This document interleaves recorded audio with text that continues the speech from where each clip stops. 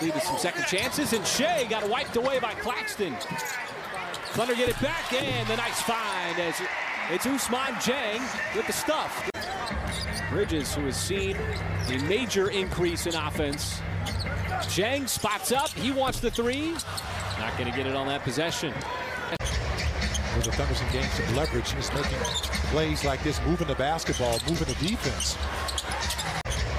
Where the Thunder's in gain some leverage. He's making plays like this, moving the basketball, moving the defense. Good job keeping that ball alive. What the Nets have been doing here in this first half of basketball, just kind of batting it out.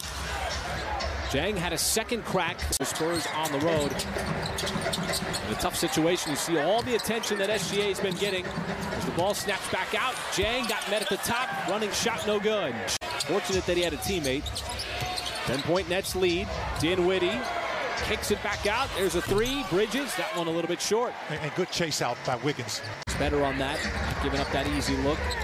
Shai, see two defenders around him, been around him all night long. Dieng, catch fire three. That's going to miss wide right. Giddey flies in.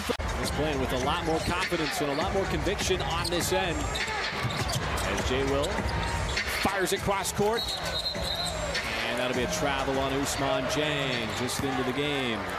He fires it over to Ousmane Dieng. Bridges defending, Shai inside, outside, back to Dieng, trying to get into the mix from three, no good. J-Dub taps it out.